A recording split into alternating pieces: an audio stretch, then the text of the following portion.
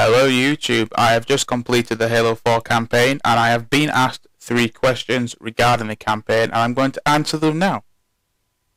Is the storyline any good was the first question and yes, the storyline is very good. It is personally my favourite storyline. I've only played through it once. I played half on normal and half on legendary. Um, the storyline is very good. Lot of depth, lot of character. Basically everything 343 said uh, they'd put in the campaign they have.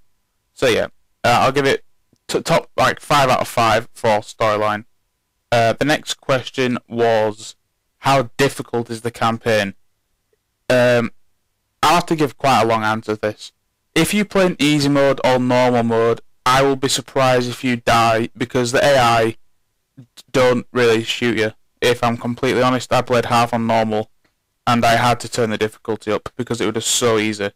Um, I played on normal mode. I played, I'll just say, a part of the game on normal, and I didn't die once, and I don't like that. I like to be challenged. I ran through the game on normal mode pretty easy. The AI didn't shoot, but on legendary, it, it's like the AI is not enabled for the first three difficulties on easy, normal, or heroic. On legendary, it's like they're actually they actually know how to use the weapons they hold. So yeah, I would definitely recommend playing it on legendary. In all honesty. And the third question was, what is it worth playing through the campaign? Yes, it is. Uh, the campaign, honestly, I enjoyed it.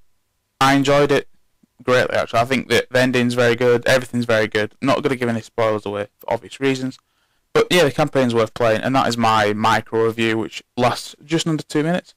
So subscribe to the channel, and I will upload some multiplayer-based stuff when I'm able to. So thank you very much, and take care.